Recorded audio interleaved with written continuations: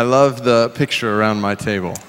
저는 제 이렇게 데스크에 보면은 책상에 보면 이렇게 사진이 있는데 가족 사진 보는 거 참 좋아합니다. Recently, I was, uh, I was preparing to preach on a Sunday morning from the Great Commission. 어, 제자들을 파송하면서 했던 주님의 말씀을 붙잡고 제가 설교한 적이 있습니다. on going to all nations.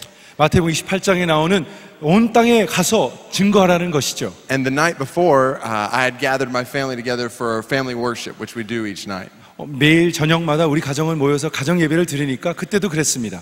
And we were praying together. 함께 기도하고 있었어요. And I told our children to, I asked our children to pray that the next morning when I preached, God would send some people from our church to go to other nations. 제가 이렇게 가족에게 부탁했어요. 아빠가 내일 이제 설교하게 될 텐데 아, 저먼 땅까지 가서 우리 교인들이 헌신할 수 있도록 선교할 수 있도록 그렇게 한번 변화를 주는 그런 설교를 하고 싶어. And I looked at my son from Kazakhstan 카자흐스탄에서 온 제 아들에게 이렇게 바라봤습니다. and I said, maybe tomorrow God will call someone to move to Kazakhstan. 아빠가 내일 설교하고 나면 우리 교인 중에 어떤 사람이 감동을 받아서 주님의 음성을 듣고 카자흐스탄에도 갈 수 있지 않겠니? to share the gospel. 하나님의 말씀을 증거하기 위하여. And he got a big smile on his face. 제 아들은 이렇게 씩 웃었습니다. And I looked at my daughter and I said, maybe tomorrow God will call someone to share the gospel in, in China. 또 제 딸애를 보고 말했습니다. 아빠가 내일 설교하면 어떤 사람이 또 그것을 통하여서 중국에 선교 가게 할지 어떻게 알겠니? And she sat up with a big smile on her face. 이렇게 일어서더니 이렇게 큰 웃음을 미소를 지었습니다. And then I just said, generally, 우리 가정 전부에게 말하기를 maybe tomorrow God will call someone to go share the gospel in Africa. 어쩌면은 내일 설교를 듣고 또 어떤 분은 감동을 받아서 아프리카까지 가서 하나님을 증거할 수 있겠지. And our second son, 우리 두 번째 아들 있죠? who was born in Birmingham, 버밍햄 알라바마에서 태어난 그 자녀 he sat up 딱 일어나더니 and he said, Is that where I'm from? 아빠 제가 아프리카에서 왔나요? With a big smile on his face. 이렇게 피식 웃으면서 물어봅니다. And his older brother looked at him and said, No, Joshua, you're from Birmingham. 그런데 형이 옆에 있다가 아니야 자슈아야 너는 버밍에서 햄에서 태어났잖아. And Joshua just sat back. 그런데 이렇게 시무룩하게 It was like he was so disappointed. 그가 너무나 실망한 모습이었습니다. So we have, we have unique times around our home. 우리는 가정 예배 드릴 때 정말, 정말 특이한 일들이 많이 있습니다. But, but the story I told represents a real, a real struggle during many days in my wife and I's faith. 정말 저희들이 나누었던 아침에 나눴던 그 대화를 통해서 여러분 아시다시피 제 아내와 저는 참 많은 일들을 경험했죠. For many years, month after month, being, having our hearts broken. 뭐 한 달, 두 달 지나면서 그 주님에 대한 실망감 이루 말할 수 없었습니다. And I know that in a room, a room this full, 이렇게 큰 방에 모인 우리들 이렇게 많은 사람이 계신데요.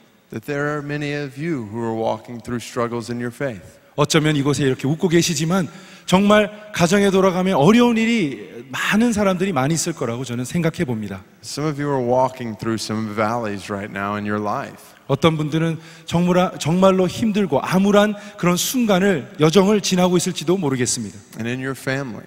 여러분의 가정에 아픔이 있을 수도 있죠. For some of you, may it's, maybe it's sickness 어, 육체 질병으로 인해서 힘들고 있는 사람도 있습니다. that you are struggling with right now.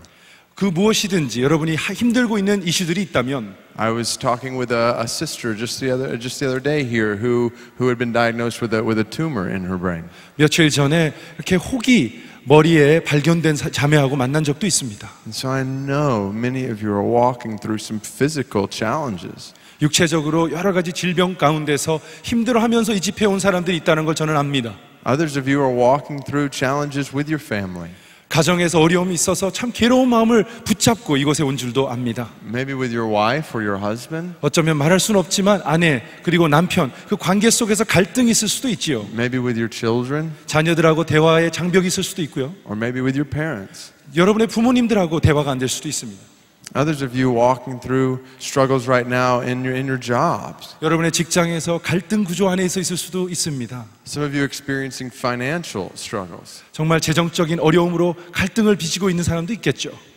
Others of you are experiencing persecution in some ways for your faith. 어쩌면 여러분이 예수를 믿기 때문에 오는 여러 가지 핍박 때문에 어려움을 당하는 사람도 있을 거라고 생각합니다.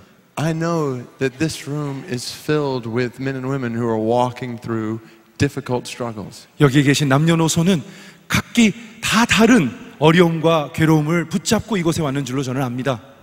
And people will say to you, 사람들이 이렇게 말할 겁니다. if you just trust God, things will get better.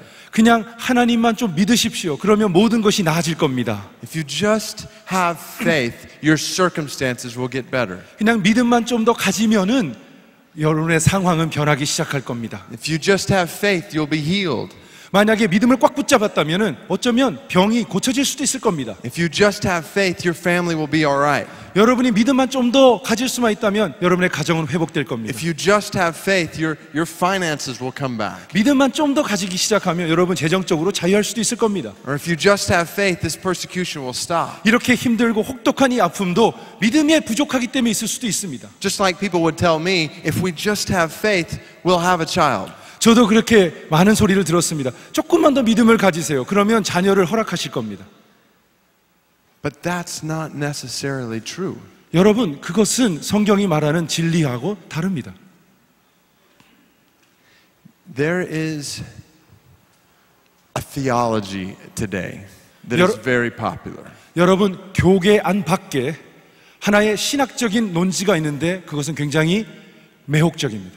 Some call it a prosperity gospel. 번영 신학이라고도 하지요.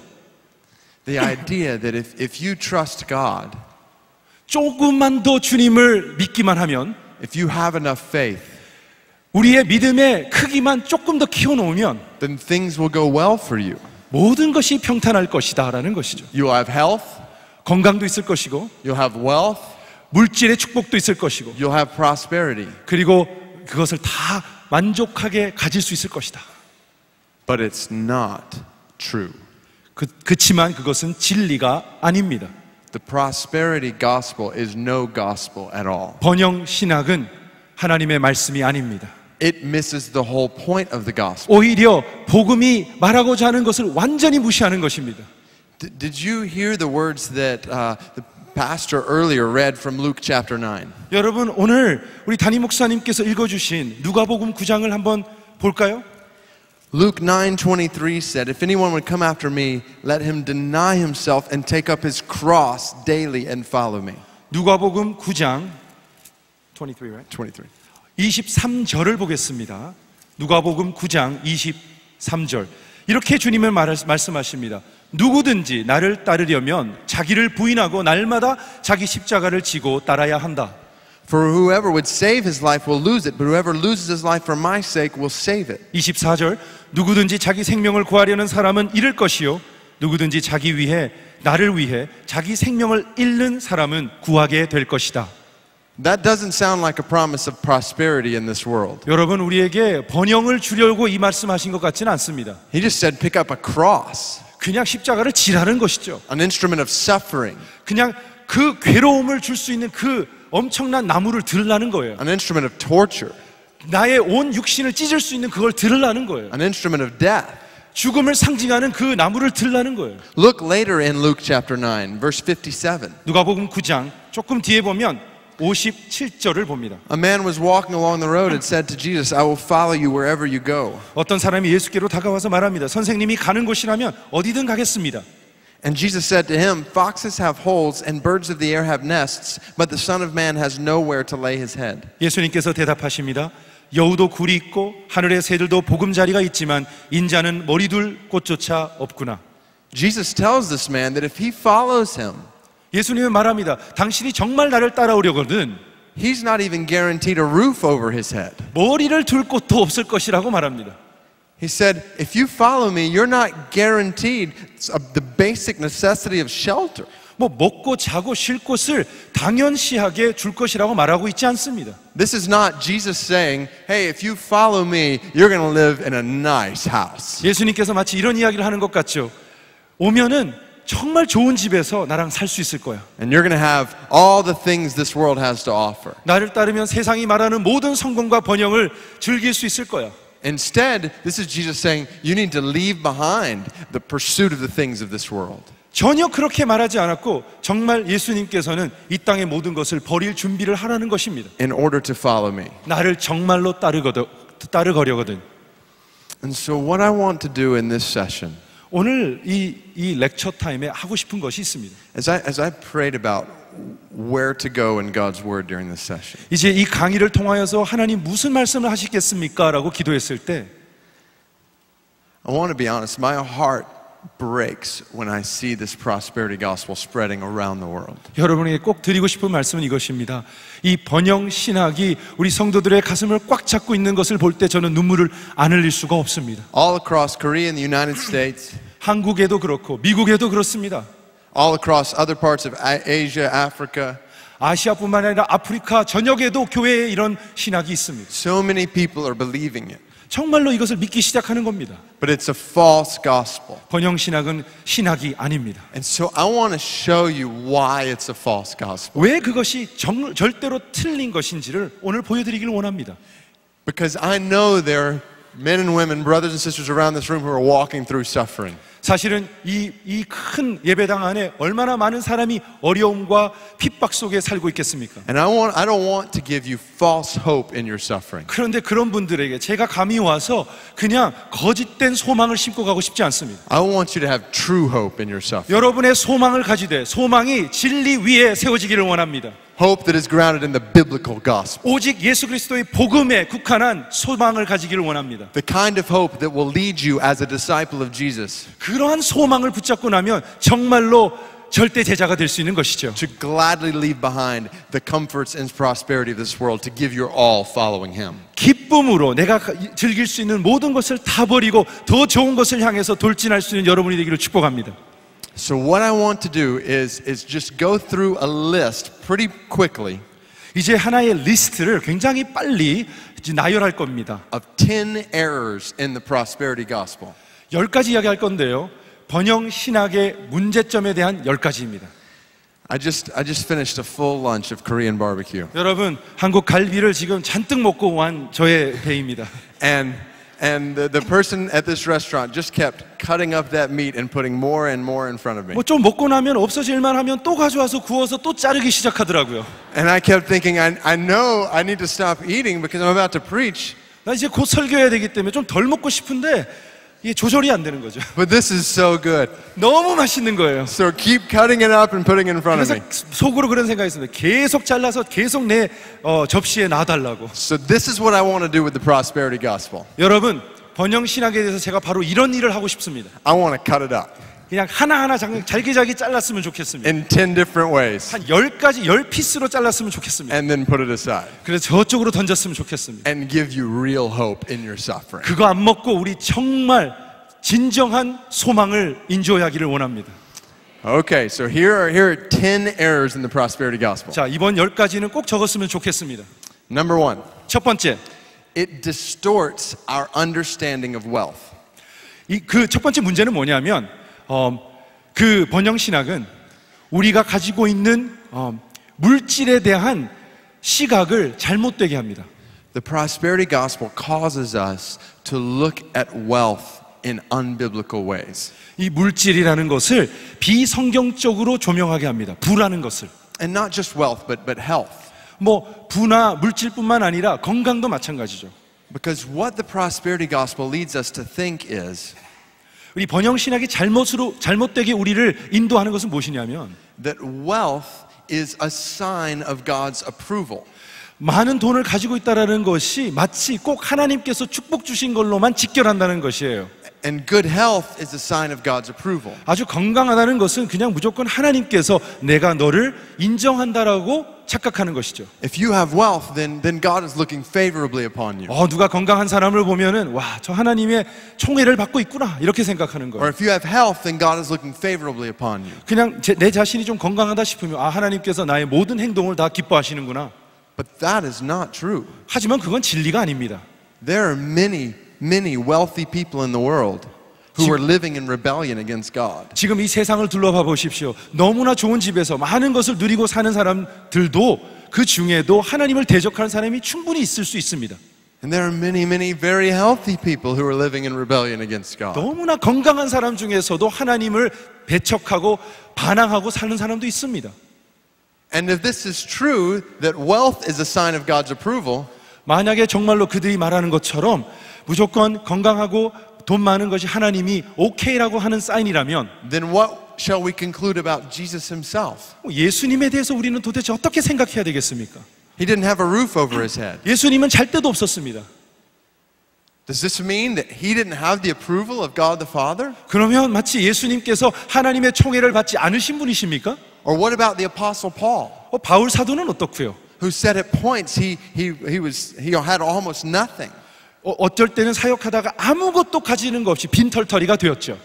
Does that mean that he didn't have the blessing of God? 그러면 그가 사역자로서 하나님께서 버린 자입니까? And then the, the other problem along these lines is we start to look at poverty as a sign of God's disapproval. 또 똑같이 동전의 양면이죠. 가난한 자를 보면 우리는 어, 하나님께서 저를 정말로 멸시하고 있구나 생각합니다. We look at those in poverty and we think, well, clearly they've not been blessed by God. 가난한 자를 보며 그럽니다. 하나님의 축복을 못 받을 무슨 행동을 했겠지.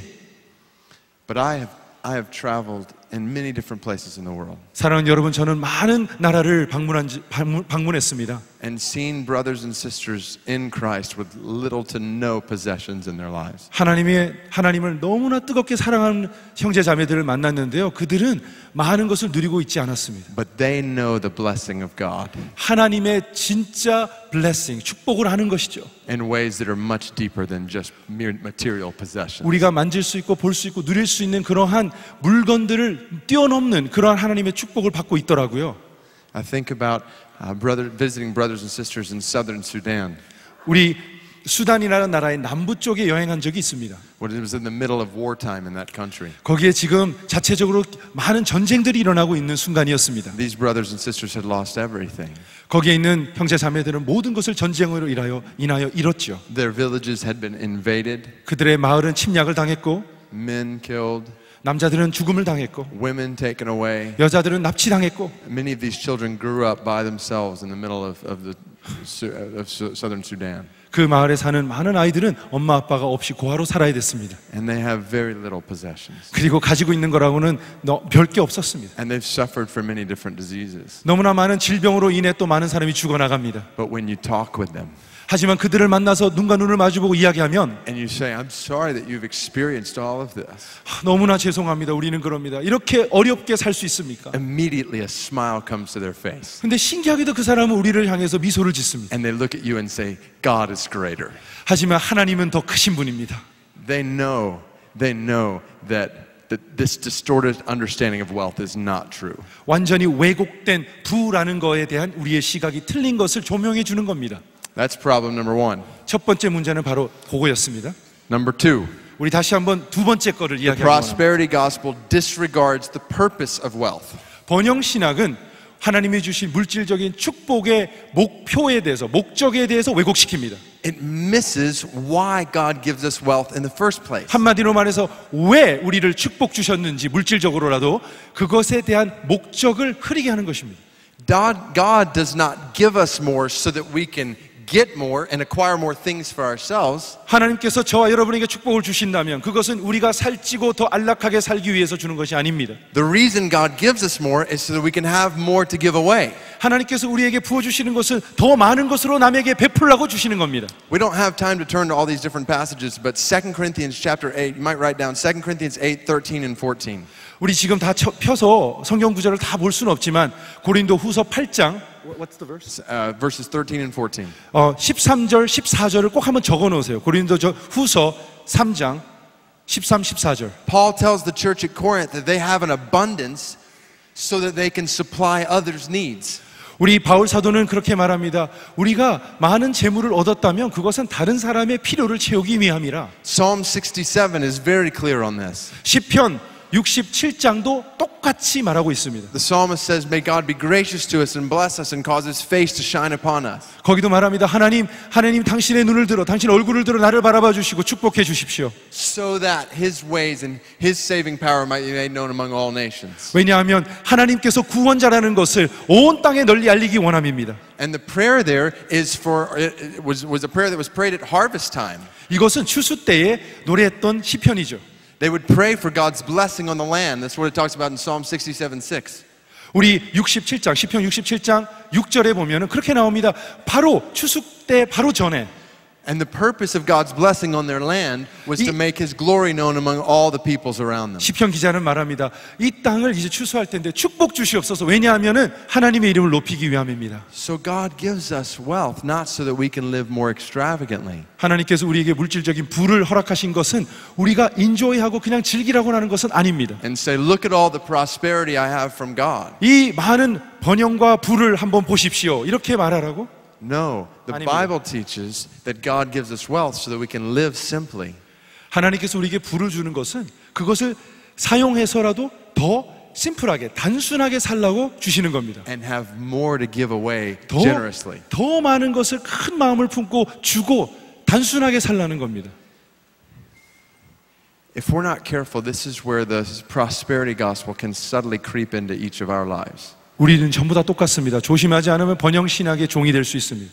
and into the church. 우리 교회가 얼마나 그런 거에 위험에 놓여 있습니까? I've seen it in my own life. 제 삶에도 그 위험이 항상 도사리고 있습니다. I was living in New Orleans, Louisiana, 저는 뉴올린스라는 곳, 루이지애나에서 결혼을 시작했습니다. and, uh, and a hurricane came 여러분 아시지만 허리케인이 몇 년 전에 왔었죠. and sent much of our city underwater, 우리의 큰 그 도시를 그냥 물에 잠기게 했습니다. including our house. 우리의 집도 똑같이 잠겼습니다. And so we lost all the possessions that we had. 우리가 가지고 있다고 생각했던 모든 것을 잃었습니다. And I remember I looked at my wife after that happened, 그 일이 있고 난 이후에 제 아내와 이렇게 마주 앉아서 바라봤습니다. and I said to her, We have an opportunity that very few people in our culture get. 자기야 우리는 이제 드디어 우리 문화에 사는 많은 사람들이 즐기지 못하는 가질 수 없는 기회를 가졌어. We have an opportunity to start over with nothing in our hands. 이제 우리의 손에 아무것도 없으니 이제 무에서 다시 한번 시작할 수 있는 기회가 왔어. And instead of filling our lives with all this stuff that we don't need, 이제 또 다시 필요도 없고 쓸모도 없는 것들을 마구 사서 채우기보다는 we have an opportunity to live more simply. 우리 이제 정말 주님 앞에 단순하게 살 수 있는 기회가 왔어. And so let's be very careful with what we get in our lives now. 우리 이제부터 하나하나 사는 것마다 신중하게 생각하고 사자. And so that's what I told her. 제가 아내에게 그 비전을 쉐어했습니다. About six months later, uh, go ahead. 6개월 이후에 A large church, mega church, began talking with me about becoming their pastor. 메가철치죠. 큰 교회가 저를 어, 전화 전화 주셔가지고 혹시 담임 목사로 청빙해도 될까요? 이렇게 문의합니다. And I believe the Lord was leading me to pastor that church. 솔직히 기도해 보니까 하나님께서 그쪽으로 인도하는 것 같더라고요. So I became the pastor 제가 거기에 담임 목회자가 되었습니다. of this large, successful mega church. 너무나 사람들이 총애를 주고 있는 주목을 받는 그런 큰 교회 담임 목사가 되었습니다.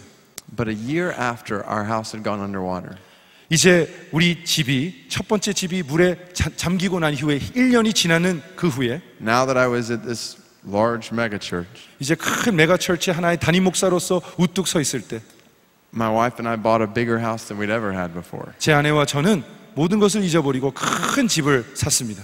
And we filled it with far more possessions than we'd ever had before. 우리가 상상할 수 없을 만큼 많은 것들로 그 집을 또 채웠습니다.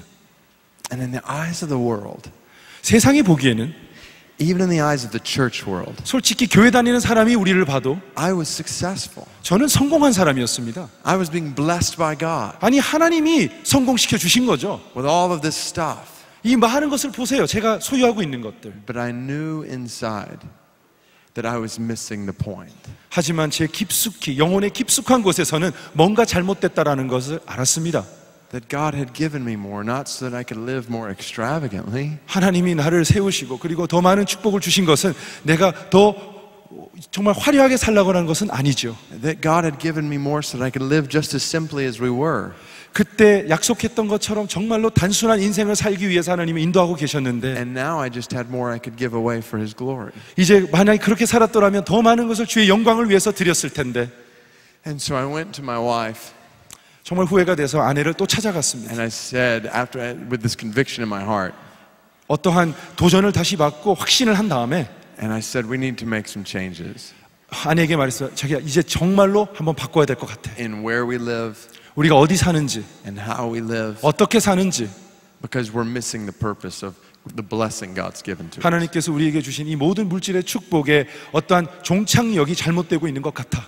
The prosperity gospel misses the purpose of wealth. 번영 신학은 하나님께서 주신 축복의 목적을 잘못 왜곡시킵니다. And if we're not careful, it will creep into all of our hearts. 저뿐일까요? 우리 모두는 다 거기에 조심해야 됩니다. And we will begin to think 우리는 그렇게 생각할 겁니다. that because we have, uh, we have financial resources, 우리가 더 많은 것을 인조할 수 있는 그런 재력을 가지게 되면 you think about your country, 여러분, 여러분이 살고 있는 이 나라를 한번 생각해 보세요. how over recent decades you've experienced remarkable economic growth. 지난 수십 년 동안에 얼마나 더 잘 사는 나라가 되었습니까? Remember this. 기억하세요. God has not given you this economic growth so you can live more extravagantly. 여러분에게 이렇게 하나님께서 물질적인 축복을 주는 것이 더 화려한 인생을 살라고 한 것은 아닙니다. and enjoy more stuff in this world. 더 많은 것을 인조하라고 하는 것이 아닙니다. He's given you this so that you might use what He's given you for His glory in the world. 오직 여러분이 순종하는 마음으로 하나님의 영광을 위하여 쓰라고 주신 것입니다.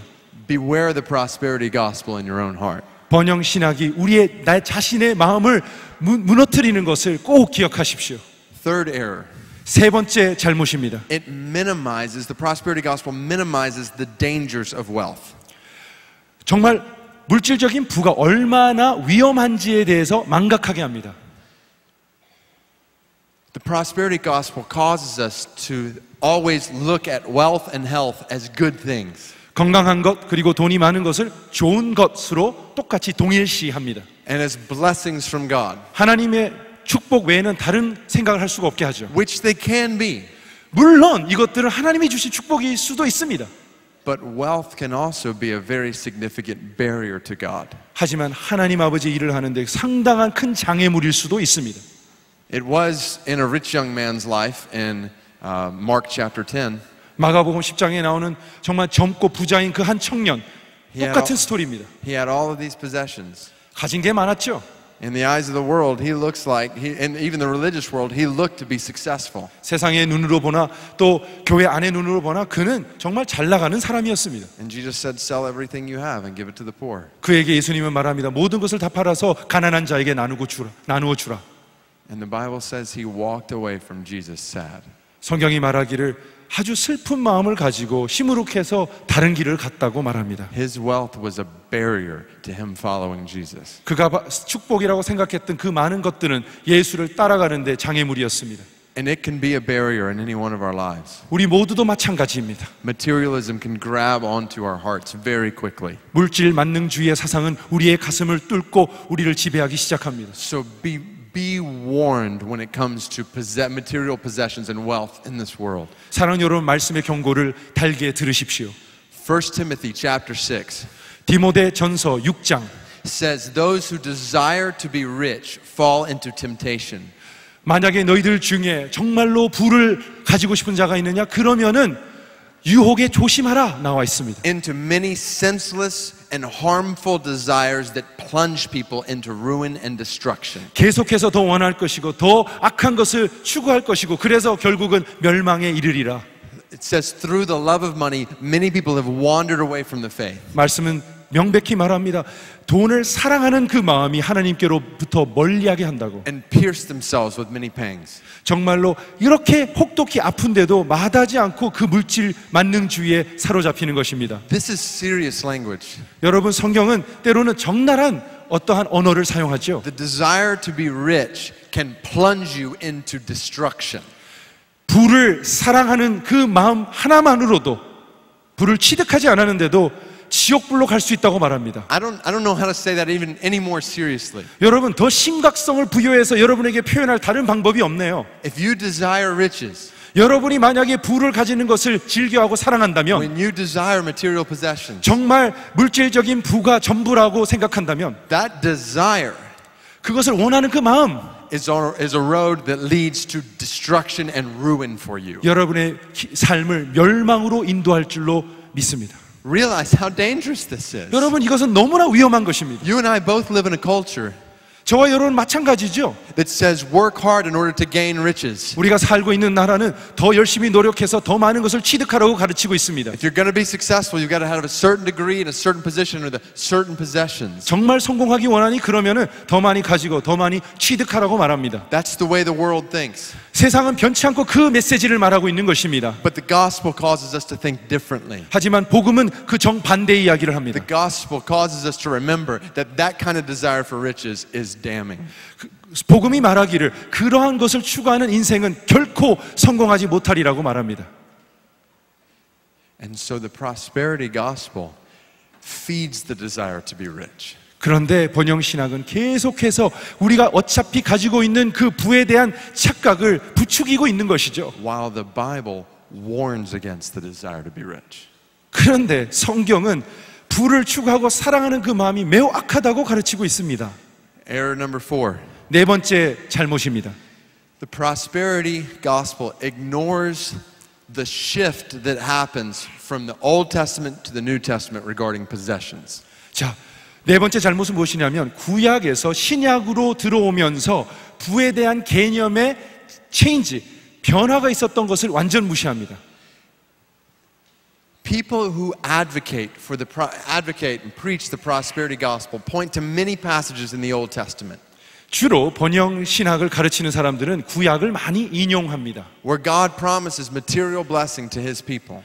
하나님이 자기가 택한 백성에게 네가 나를 믿으면은 많은 것을 주리라고 약속했기 때문입니다. And, and those promises are clear in the Old Testament 뭐 정말 제가 봐도 구약에 틀림없이 축복이 있습니다. because God is doing a unique work there. 왜냐하면 한 백성을 통하여서 굉장히 독특한 사역을 하고 있었기 때문입니다. He's blessing the nation of Israel, 이 작지만 이스라엘이라는 하나님의 택한 족속을 일으켜 세우기를 원함입니다. the, the people begun with the patriarchs and Abraham. 아브라함으로 시작해서 많은 여- 연대수가 지났겠죠. And from the very beginning, he promises the material blessings like land. 정말 땅이라는 그러한 물질적인 축복으로 볼 수 있는 것들을 약속하셨습니다. and descendants 아브라함에게 또 많은 자녀를 줄 것이라고 말했습니다. and prosperity to build a temple. 정말 부를 많이 주셔서 거기에 하나님을 위해서 성전을 지으라고 말했습니다. And all of this would be a demonstration of God's glory among all the nations. 온 땅에 하나님의 존재와 사랑을 알리기 위함입니다. But when you turn the pages of the New Testament, 우리가 신약으로 이렇게 성경을 돌리면 based on the Old Testament, God begins something, doing something very different. 이제 구약과 신약을 바라보면서 약간의 차이 같은 것을 느낄 수 있을 겁니다. Instead of his blessing centering on one people, it's a blessing that is now expanding in new ways to all peoples. 구약에 어쩌면 한 민족을 택해서 그들을 지- 모든 축복을 초점을 주었다면 이제는 신약에 와서는 모든 민족에게 축복을 주시기 시작합니다. And instead of telling his people to build a nice bi- building 오, 또 자기의 백성에게 하나의 빌딩을 지으라고 말하기보다는 called a temple, 오, 구약에 나오는 그, 그 제사, 제사 드리는 그 시스템을 지으라기보다는 he says, Your body's now going to be my temple. 이제 네가 살고 있는 그 몸 자체가 내가 구하는 성전이라고 말하고 있습니다. And in the New Testament, we never have one command to build big, nice buildings. 신약을 아무리 읽어봐도 한 곳에도 큰 성전을 지으라고 말하지 않습니다. In fact, in the New Testament, we never have one promise of material reward for obedience to God. 심지어는 이렇게 말할 수 있습니다. 신약의 한 구절도 네가 나를 순종하면 내가 큰 부를 주겠다고 말한 구절이 한 구절도 없습니다. Not one time does Jesus say, If you follow me, you're going to have uh, a nice vacation house in Rome. 예수님은 한 번도 네가 나를 따르면 로마의 아주 좋은 휴양지에 있는 곳에 집을 하나 세워 주리라 이렇게 말하지 않았습니다. Peter, if you follow me, you're going to go on vacations and cruises like you've never been on before. 베드로야 네가 나를 따르겠느냐 좋다 그러면 내가 세계 여행을 시켜주고 좋은 것들로 채워주리라 이렇게 하지 않았습니다. Now, some of these apostles, like Paul, ended up on a boat, 솔직히 바울 사도 같은 사람은 보트는 많이 탔습니다. but it was no cruise. 하지만 이것은 크루즈 여행은 아닙니다. And he was not doing a vacation. 이것은 여행 간 것은 아닙니다. All throughout the New Testament, we don't, we don't see God establishing a people in a physical place. 우리가 신약을 읽어보면은 어떠한 지- 정말 물질적인 장소 개념을 벗어난 것이 있습니다. filled with all kinds of material blessings. 그 물질적인 장소에다가 많은 불을 갖다 축적해 넣죠. Instead, we see a people whom God is telling to scatter to all places, 그게 아니라 우리를 성전이라고 부르시고 방방곡곡으로 가라고 말합니다. to lay down their lives, 자기의 인생을 포기하라고 to 말합니다. leave behind their possessions, 내가 가지고 있는 것을 다 버리라고 말합니다. in order to go and take this gospel to as many people as possible. 왜냐하면 가장 많은 절대 다 수에게 복음을 증거해야 되기 때문입니다. And the prosperity gospel totally misses that shift. 번영 신학은 구약에서 신약에 왔던 하나님의 그 변화에 민감하지 않습니다. Next error 다섯 번째의 실수입니다. The prosperity gospel promotes selfish luxury over selfless generosity. 번영 신학은 정말 내가 가지, 내, 내 가진 것을 다 털어서 주는 것을 잊어버리고 오히려 많은 것을 나를 위해서 채우려고 합니다. It holds out as a reward for God's people more stuff in this world. 너무 자기 중심적으로 모든 것을 나를 위해서만 쓰려고 합니다. And as a result, it implicitly leads people to ignore the poor in this world. 그래서 그 번영 신학을 받아들이면은 우리는 우리 주위에 있는 가난하고 어려운 자들을 무시하게 됩니다. I've thought a lot about prosperity theology walking through the middle of slums in India. 인디아의 여러 가지 가난한 도시들을 방문하면서 정말 내가 어떻게 살아야 될까 고민을 많이 했습니다. Families with five or six people living in 8 by 12 foot shacks. 다섯 명, 여섯 명으로 구성되어 있는 가정이 조그만한 요 방 한 칸에서 사는 것을 봤습니다. As we walk into the community, we, we dodge different piles of, of human feces all around the community. 뭐 여기저기 갈 때마다 쓰레기, 여러 가지 인간들이 버린 것들이 막 아무데나 쌓여져 있었습니다. Water limited, 정말 물, 뭐, 마실 물이 없더군요. food scarce. 정말 먹을 음식도 부족했어요. I'm not going to walk into that village. 사랑하는 여러분, 저는 그 마을에 그냥 들어갔다 나올 자신 없습니다. Gather together with brothers and sisters in the church there 그 교회에서 그렇게 힘든 생활하고 있는 교인들을 만나고 난 이후에 and tell them that their poverty is a sign of God's approval, 저는 자신 없습니다. disapproval. 그들을 바라보면서 당신이 이렇게 찌들게 가난하게 사는 이유는 하나님이 당신을 별로 안 좋아하기 때문입니다. 그렇게 말할 자신 없습니다. Instead, I want to mobilize the church around the world 그렇게 하기보다는 온 세상을 다니면서 교회들이여 일어나라 하고 싶습니다. to come alongside these brothers and sisters 그 멀리 있는 인디아에 있는 그 사람들을 위하여 옆에 같이 서주자 말하고 and 싶습니다. to say, how can we serve them? 어떻게 하면 우리의 형제와 자매들을 보살필 수 있을까요? How can we love them? 우리가 어떻게 더 사랑할 수 있을까요? How can we help in providing things like water for them? 정말 물, 밥 이런 거 어떻게 줄 수 있을까요? But the prosperity gospel doesn't, doesn't move us to that. 번영 신학은 나 중심적이기 때문에 남들에게 볼 틈이 없습니다. The prosperity gospel leads us to ignore that. 정말 번영 신학은 그 모든 사람들을 다 덮어놓고 무시하고 살아라고 말하고 있습니다. And, and we wouldn't say that we are going to ignore them. That's not something we'd say out loud. 뭐 솔직히 교회에 모여서 누가 아 불쌍한 사람들 돕지 맙시다라고 말을 하겠습니까?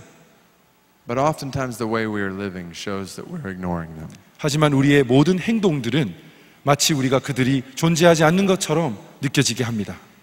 This is one of the things that frightens me most in the position I'm in. 사실 제가 대형교회 목사로서 가장 두려운 것이 바로 이 점입니다.